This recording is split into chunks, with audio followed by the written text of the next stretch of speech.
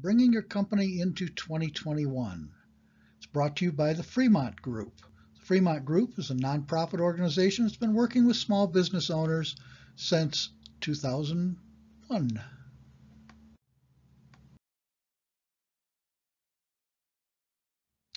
My name is Dirk Dieters. I'm the executive director of the Fremont Group. Nice looking picture, don't you think? Uh, the Fremont Group, uh, as I said, is a nonprofit organization. We do management consulting uh, for small business owners with our success partners nationwide. We also provide our webinar series, our blog uh, at patreon.com that has all sorts of information for small business owners and useful things. Um, in addition to that, we have an accounting division which does uh, will do your bookkeeping and accounting uh, at a considerable discount and also dovetail together with our uh, success partners and uh, provide you with the information that you need to know to run your company. What we're going to do today is we're going to address the new business model. What was the old business model? Well, prior to uh, the Depression, very few large employers existed. Uh, most people were, in effect, what we'd call today independent contractors or farmers or handymen or whatever, and they went around and they did a job and they got paid and, and they left it was really the auto industry and Henry Ford that started up the old business model. And the idea uh, in the auto industry of the uh, production line and one thing passing to the next person, to the next person, and so on. And as businesses grew and corporations grew uh, in other industries, this type of a model uh, extended. It went uh, into uh, almost all different facets of business, where you'd have one person doing something and passing it to a next and passing it to a next and a, a supervisor overlooking it and so on and so forth. Obviously, in small businesses, uh, it's not quite as bureaucracy laden, but uh, that was the model that existed forever until this year. The historical business model had all sorts of benefits to it in that it did create a, a, a system within your business. And that's we, when we talk about uh, uh, our webinar series and we talk about your business, we talk about what it is that you own. And what you own is a system. It's a system that converts market demand for your goods and services into cash. And all of the tasks that run together in that are your system. And how you manage that system is your management system, how you oversee it, where you check in, where you see the different uh, uh, uh, things running through the all the different tasks it requires to take you from market demand to cash. And it's like a chain, and if any of those links in the chain are broken, uh, you will not produce as positive a result at the end. And so when uh, our success partners work with you to do a, a quantitative analysis of functionality and, and, and, really lay out how your business works, uh, we look for gaps and duplication in that system uh, and how that can be eliminated. But that historical model moved along and it grew and that's the way businesses worked and it was an effective model, although it did create bureaucracy. The only constant is change. And we had an accelerator in 2020 with COVID. All of a sudden, uh, the people were no longer looked at working in the same way. Everyone resists change, but when you have something that works, and because when you have something that works, you want to keep it. And employers now want to go back to what they had because they knew it worked and it was okay. But unfortunately, well, and maybe fortunately, a lot of employees don't. They figured out that working from home was pretty good. Now, obviously, um, there are many jobs and tasks that cannot be done from home. Um, if you're a checkout person at a grocery store, you're not going to be able to uh, work from home. and, and, all of your basic service types functions are uh, uh, cannot be provided remotely. But what we were going to find is that every business has a mix of those different activities, and there are significant amounts of benefit that can come about from adaptation to the new reality that COVID has created. And in doing so, you're going to find a new way of looking at even your services businesses uh, that will make a huge difference in where you're going to go. The people who change will thrive. The people that don't may not survive. You've built a successful business, and through no fault of your own now, the world has been turned upside down. So where do we go from here? There's been a progression within your your company uh, you started up. You probably didn't take a paycheck. You did whatever you had to do to make it work. Then you hired some employees, and then you figured out how to get more work done and how to make money. And you achieved a level of success that you may not even have thought you were going to achieve. Uh, and certainly uh, some people around you didn't think you were going to achieve. And you should be very proud of that. You did very well. But now the world is different. And through no fault of your own, things have changed. So where do we go? What do we do now in 2021 to thrive and survive? You're at a crossroads and you have a choice. You can choose to be a hero and companies that do adapt will prosper and those that don't will die. So again, who is affected by this change in the workplace that's been brought about from the pandemic? Everyone is affected. And what can you do about it? What you can do is look at the new business model, the new way of doing things, the new way that will eliminate some middle management, that will make people more productive and happier workers, and it will save you money and increase productivity.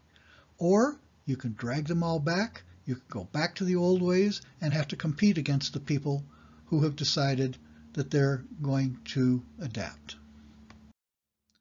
So what is that new way? How do we do it and what are the pitfalls? Modern business has going to have to change their concept from paying by the hour, uh, paying for a person to show up, and rather to pay for results. This became painfully aware uh, to many uh, owners that uh, when people worked from home, uh, they could no longer monitor their daily results or hours and, and, how much time they were sitting there and what else were they doing. You couldn't micromanage their time. It was impossible. Those who tried uh, failed uh, miserably. So instead, you pay for results. You pay for a per person to produce defined results.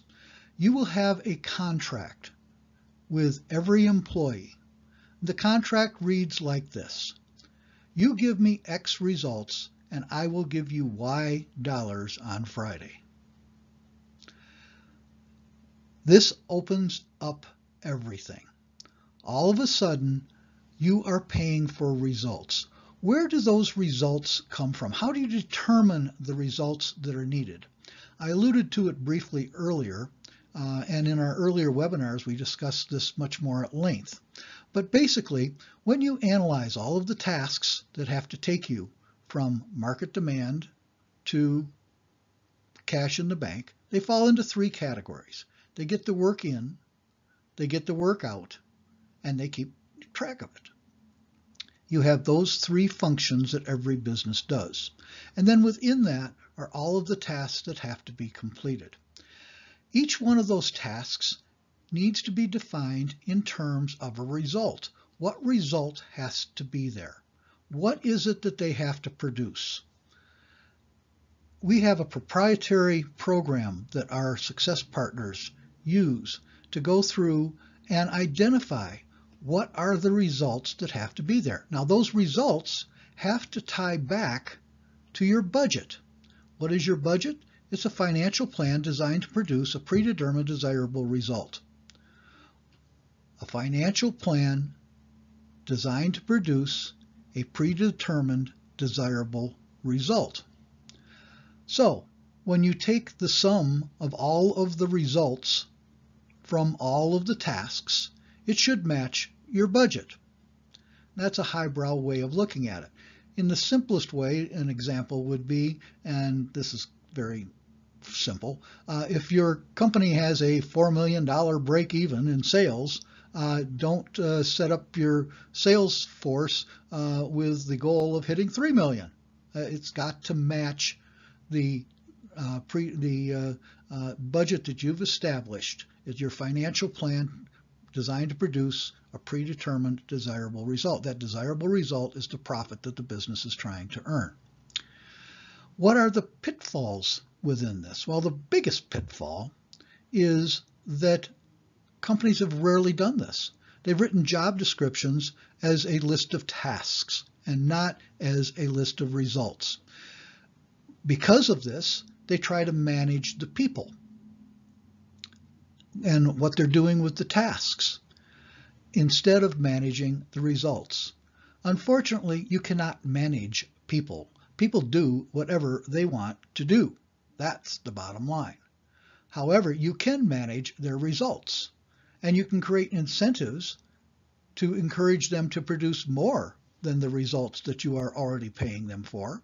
And you can have systems of accountability where bad things happen to them uh, if they don't produce the results that you are paying them for.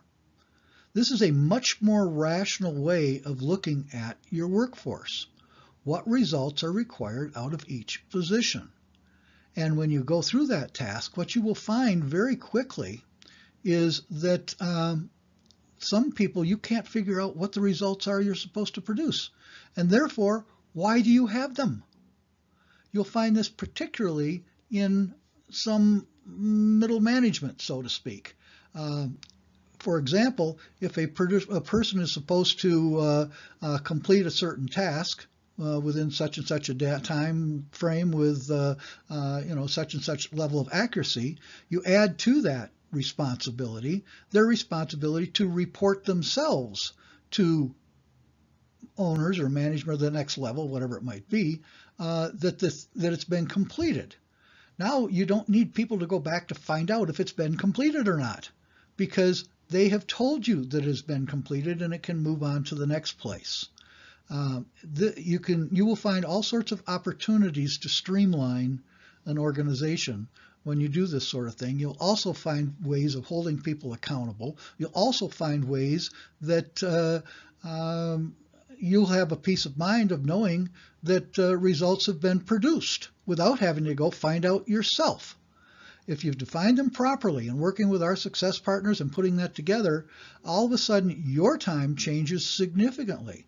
But if you fail, fail to uh, clearly define those results and communicate them to the employee and let them uh, have a, a, way of, uh, of managing and, and, knowing whether or not it's been accomplished, uh, then uh, you're going to have a problem because you're trying to manage in a in the 2021 way in the old-fashioned model. So what is the process to bring your company into 2021 management and make yourself profitable to go forward? The success partners of the Fremont Group have a six-step program to get you there. The first one is to do a business assessment. What is a business assessment? Our success partner meets you, comes onto your site for a day and a half, goes through your business, identifies your issues, and uh, gets to know your company, gets to know you, uh, and, and uh, goes through your financials, meets some employees, and so on. At the end of the day and a half, the two of you, which is step two, agree upon an action plan. What are the issues that are in your way? What are the things that are stopping you? What has to be done? And what action should be taken by you? What action should be taken by employees? What action should be taken by the success partner uh, to get you running in the way you want to go and address the issues that are identified in the business assessment? The third step is to look at your accounting and your financial uh, reporting. Uh, your accounting is needs to dovetail in with the information that is needed by you to run the business. It's not a matter of somebody just sitting there and keeping the QuickBooks. It's somebody that obviously does complete the QuickBooks and the payroll and so on, but is also producing timely, accurate, and usable reports on your key profit indicators that are identified by your success partner and yourself, the information that you had to know. What we like to use is the example of this. Imagine, as long as you're not in Omaha, imagine that your business is in Omaha and you're not. What information would you have to know on a daily, weekly, monthly basis to make sure that that business is running effectively? Those are your key profit indicators, and you need timely, accurate, and usable reporting on all of that. Fourth step is to go through your financial side of your business and make sure that you have created two critical management financial reports. One is your budget. Your budget tells you what you can afford. Your budget is your uh, financial plan designed to produce a predetermined desirable result which is the amount of profit that you are trying to make. What is your plan to make it? How, what are we going to have in cost of goods? What are we going to have in overhead? What are the key variables we want to be looking at? And how should those things be monitored against that budget, which is your plan? most programs that uh, that do budgeting just look at the past and where you've been. That doesn't matter. What matters is what you're trying to do going forward. And so tied back in with your accounting, budget versus actual reports are produced sometimes weekly, sometimes biweekly, and sometimes monthly, depending on the stage of the business and what you're doing, um, that compare your results against your plan, against your budget, which is your plan. And then you can actually control things and make changes while it will still affect your bottom line, not after your bottom line has been effective. The fifth step is operational and that is to go through and do a quantitative analysis of functionality, look at the three aspects of your business, how you get the work in, how you get the work out, and how you keep track of it, break down the tasks that are required, put, put into each a, uh, a result that needs to be produced, assign them to your appropriate people, and uh, make sure that part of their re requirements of their job is to report that the results have been completed uh, and have a feedback system so that you don't have no one has to go look for it uh, constantly. This allows you to open up a lot of things, allows some people to work from home, like our accounting people that can take over your accounting, and uh, also uh, other aspects of it. And all you are now concerned about is are the results that you need being produced? You're no longer trying to beat your head against a wall by managing people. You're now managing results. You truly have the rudder of your ship and you can take it where you want to go. The odd uh, unintended consequence of this is that it, in the big picture, the 2021 management style does create many more opportunities for uh, women and minorities, uh, particularly those that can be working from home, uh, as many of the the uh, former perceived prejudices disappear when you're not trying to manage people, uh, and instead you're managing results. Um, if a person can produce the results, they're there, and there's a pool of people who may not have had got uh, received uh, positions uh, that can produce those results and uh, make a significant difference in your business. And then lastly, you can't just do this. This is a relationship that lasts forever. The sixth aspect of our program is continued support. There is a weekly Zoom meeting uh, set up between you and your success partner, uh, where you re- where your success partner holds you accountable for the continued implementation. It may also once a quarter, once every six months, once a year, come back in again and do an updated assessment and kind of start the whole program back over again to update it and bring it back into alignment. Uh, the uh, ongoing support is critical. You'll be asked to, to have three meetings a week uh, some of which your success partner may sit in on, but uh, each of which uh, the minutes should be forwarded to him or her. Um, that should uh, inc- include a meeting each week, a financial meeting. It should include a meeting for operations, and it should uh, include a meeting for sales. those three meetings, which take a half an hour each with your tops with your key people. We do have a saying, by the way, anything over 45 minutes is a therapy session and not a meeting. Um, those three are the only three meetings that you really have to have that are critical within your company. And that's an hour and a half a week. If they're regularly scheduled, done right, you, and you're held accountable to having them by turning your minutes into your success partner, they're discussed once a week with your success partner, you will find that you have an entirely different management style. You will find that you have now time to actually run the company, to look for new opportunities, to look for pitfalls, to see where the market is going, and actually utilize your talents instead of making you do the unassigned tasks uh, from your position. Uh, your quality of life will significantly change, and you're going to find that you're going to make more money. One of our sayings is just this. Your success is limited to the excuses that you are willing to accept. What do we mean by that? Well, when you've asked someone to do something and they didn't do it, as soon as they open their mouth, they're going to repeat one of two things, either a, an excuse or a reason the difference between an excuse and a reason is the excuse simply isn't true. A reason is true. Let's take the parent-child. You've, you've, got a curfew at 10 o'clock. The child's supposed to be home at 10.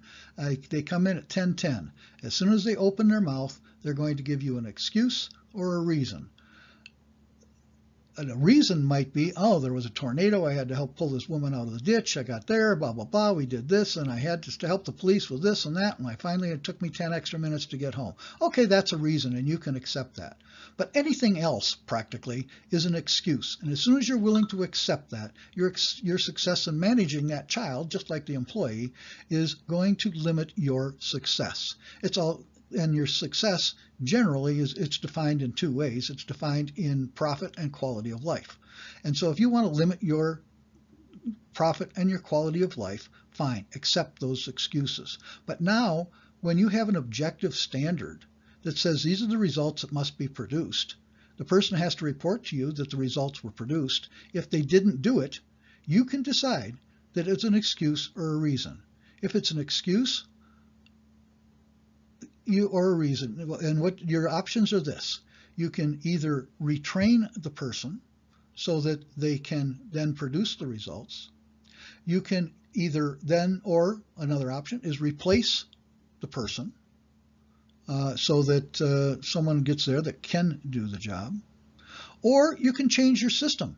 You can change your budget. You can change different things because you have agreed with them that it is a reason. And so therefore, we're going to have to move this much money out of cost of goods and, and, and uh, uh, put it into uh, overhead or vice for whatever it might be uh, because what they're saying isn't possible and, and our plan really doesn't work and we need to modify it. And that's okay.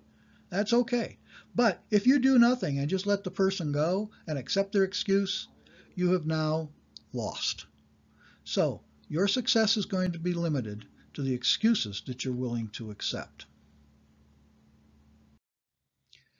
You can have basically three options. You can uh, ignore this advice and uh, what uh, we're trying to do to move you into 2021 management, or you can try and do it yourself, or you can work with us as a success. Our success partners have been there, they've done that. You will be astounded to find out the size of the investment that is required as it is significantly less as a nonprofit organization uh, than uh, are the for-profit management consulting firms that are out there. We've seen uh, bills of 30, 50,000 and higher uh, for uh, these types of services. Um, it'd be hard to imagine uh, any any work with the Fremont Group uh, coming anywhere near half or a third of that. Um, but our system works. And we'd like you to give it a try. And I do want to thank you for listening to this. I hope we've opened your eyes and made you think a little bit about how the world has changed and what you're going to have to do to address it. Um, if you liked it or didn't like it, that's fine. We'd like to know either one. Uh, send us an email at admin at tfginfo.org or give us a call, uh, 303 338 9300. Uh, we, we're glad to talk with anyone, uh, any business owner about any issues that you might have. Uh, we would start, of course, uh, if we did work with you, with an initial uh, uh, consultation, uh, the business assessment, where we come in and, and do identify what issues you have and create an action plan. Some people stop right there, um, but that's pretty rare, frankly. Um, and we have a lot of services and things that can help you. Uh, hope you've uh, got something out of this, um, and we hope to hear from you. Again, my name is Dirk Dieters. I'm the executive director of uh, the Fremont Group. Take a look at our website at tfginfo.org, the Fremont Group, tfginfo.org. Um, and uh, we hope to hear from you. Give us a call. Thank you and best in business.